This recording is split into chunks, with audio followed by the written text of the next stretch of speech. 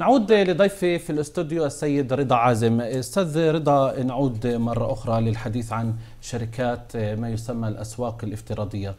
تحدثنا عن شركة إي باي وأمازون وعلي بابا الشركة الجديدة سوف تأخذ حيز مهم جدا في البلاد. تكلمنا أيضا بالنسبة المشترين كمجتمع ممكن كمستهلكين يشتروا بضاعة معينة. ولكن أيضا ممكن آه، نعمل من هذا الموضوع نوع من التجارة نعمل شوية بزنس إنه شخص إنه يبني دكاني أو آه، متجر بداخل هذا الموقع.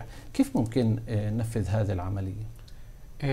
كل المواقع الافتراضية اليوم بتشجع كل شخص إنه يفتح متجر في في موقعه.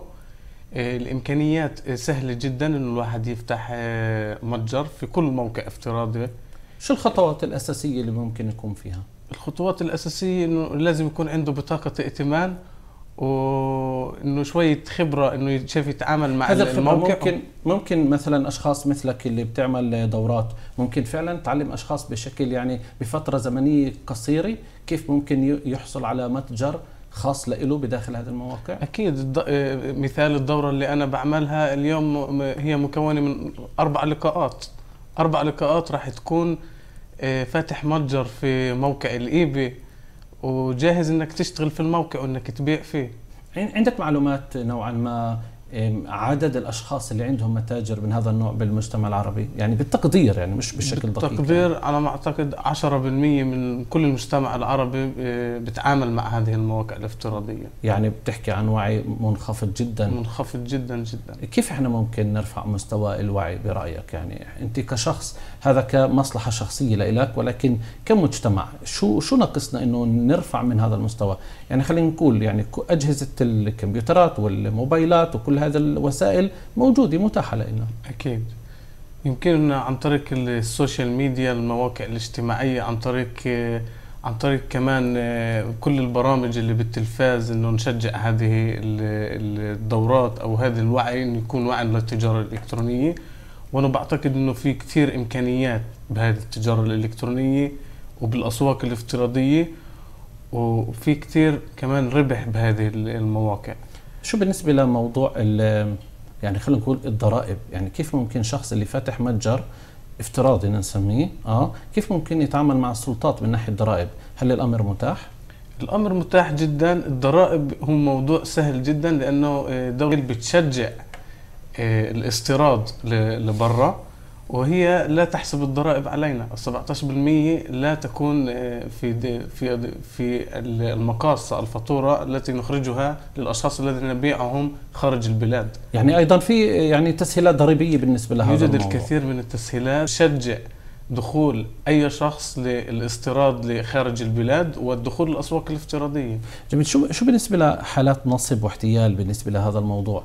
يعني من تجربتك في ناس تعرضوا لحالات نصب واحتيال؟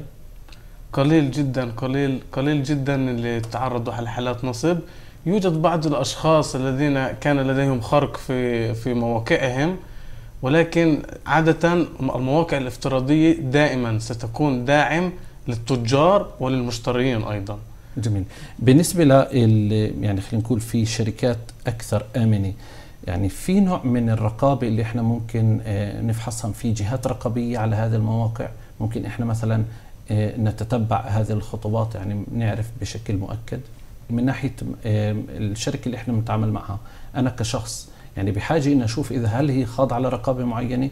أم إنه إذا الأمر تحت أمازون أو اي باي يعني هي هذه الرقابة نفسها. هي هذه الرقابة هي الشركات هذه الافتراضية شركات جدا كبيرة وهي خاضعة لنفسها يعني هي تتحكم بهذا الموقع.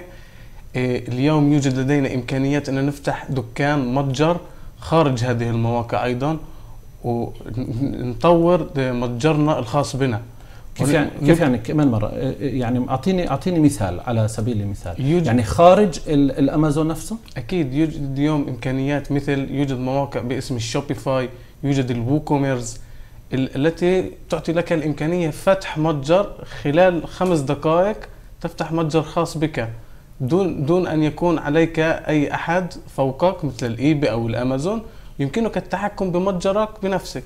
وبالنسبة للموقع أنت بحاجة إنه تبني موقع خاص لإلك يكون لك domain مع اسم أو أكيد. انه آه أكيد. أكيد. ال domain الموقع راح يكون جاهز أنت راح تفوت فقط المنتجات الافتراضية اللي راح تبيعها. هي بتعطيك كل ال- الموقع جاهز. البلاتفورم المنصة نفسها يعني البلاتفورم بتعطيك إياها. جاهز وأنت بس بتفوت المنتجات الخاصة بك. شو بالنسبة للتكاليف؟ إذا مثلا شخص بده يوصل لهذه المرحلة. أكيد التكاليف راح تكون أرخص من المواقع ال- الافتراضية. لأنه هنا أنت ملك نفسك هي راح تدفع فقط اشتراك سنوي لهذه ال ال يعني أعطيني. بالتقدير قديش هو يعني مشان المشاهد يعني شو يعرف شو التكاليف بشكل عام يعني المواقع الافتراضية راح تدفع ما يقارب العشرة بالمية على كل صفقة بتعملها بالموقع المواقع اللي راح تبني لك آه، دومين أو موقع لنفسك راح تأخذ 200 دولار بالسنة يعني مبلغ زهيد جدا يعني كل شخص. ممكن يعملها هل هل الشخص بيحتاج لتراخيص معينة مشان يحصل على هذه الإمكانيات؟ أو من هذه المواقع أو من الحكومة أو من ال يعني من ال من الكيان السياسي اللي هم يعيش فيه أو من المؤسسات الاي بي وغيرها؟ يوجد بعض التراخيص اللي يمكن الحصول عليها. يجب المثابرة يجب العمل بجدية في المواقع. لكي يروا الإمكانيات التي تعملها. ويوجد إذا أنتجت نتائج كبيرة هم بنفسهم سيتوجهوا إليك. جميل جدا. أستاذ رضا عازم نشكرك. وإن شاء الله سوف يكون لنا لقاء بهذا الموضوع في لقاءات أخرى. شكرا. شاء الله. أعزائي المشاهدين نخرج إلى فاصل ومن